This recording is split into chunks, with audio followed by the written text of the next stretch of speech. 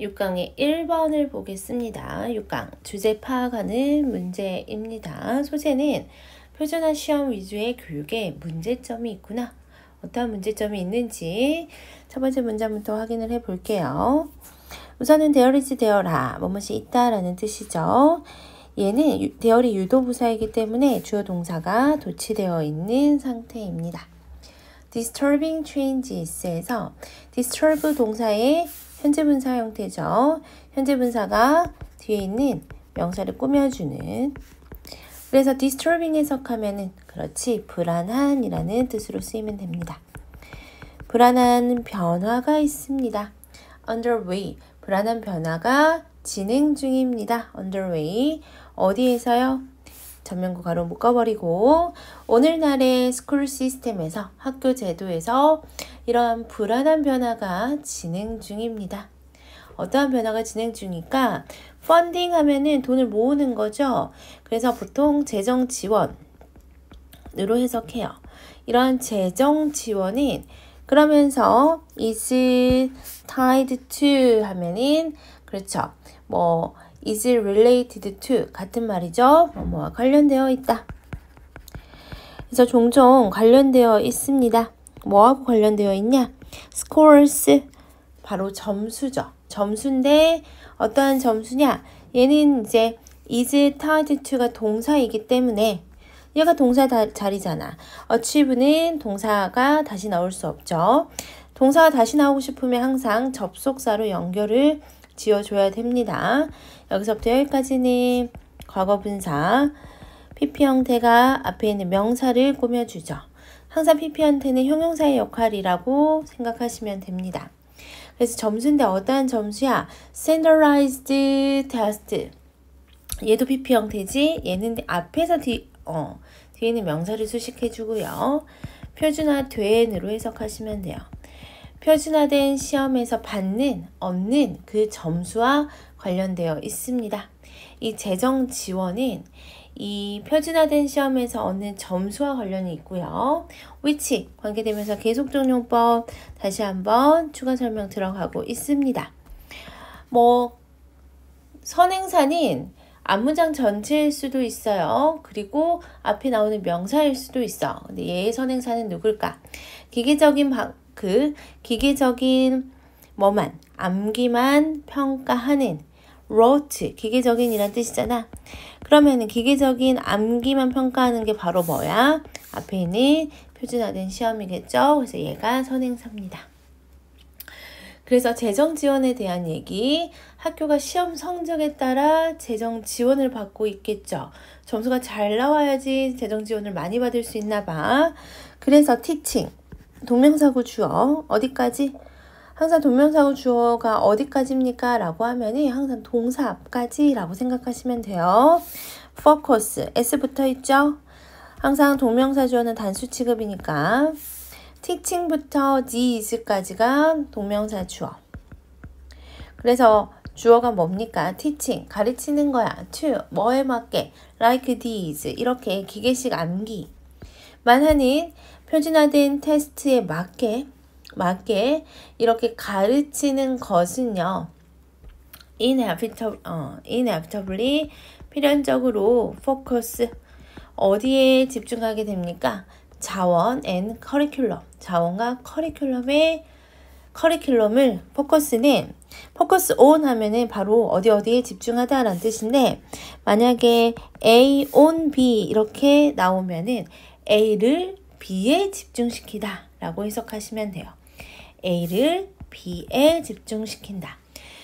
그러니까 자원이나 커리큘럼을 어디에만 집중시킬 수밖에 없냐? lower scoring student 하니까 점수가 낮은 학생들에게 집중시킬 수밖에 없어.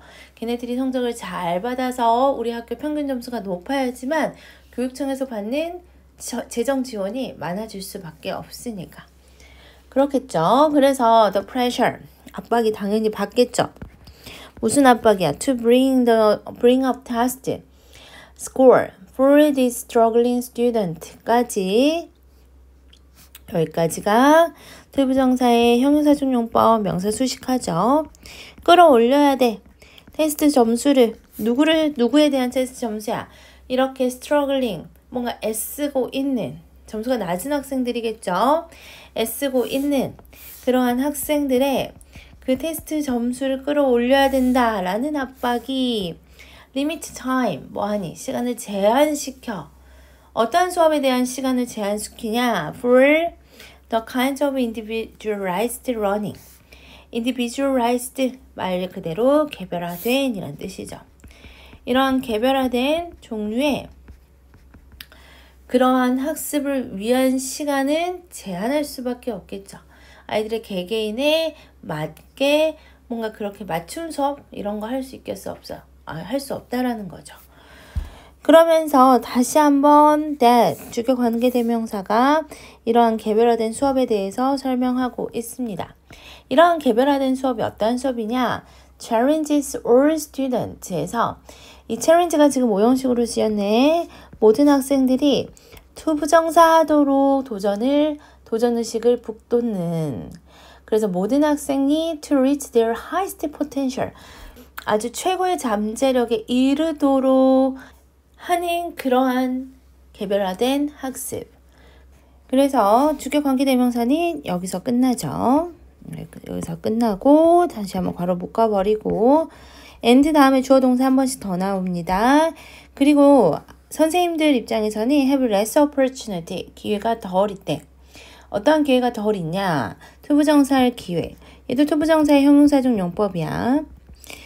그러면서 여기까지 투부정사죠. encourage creative thinking and incorporate hands-on activities에서 창의적인 사고를, 사고를 장려하고 hands-on activity 하면은 체험 학습, 체험 활동이거든.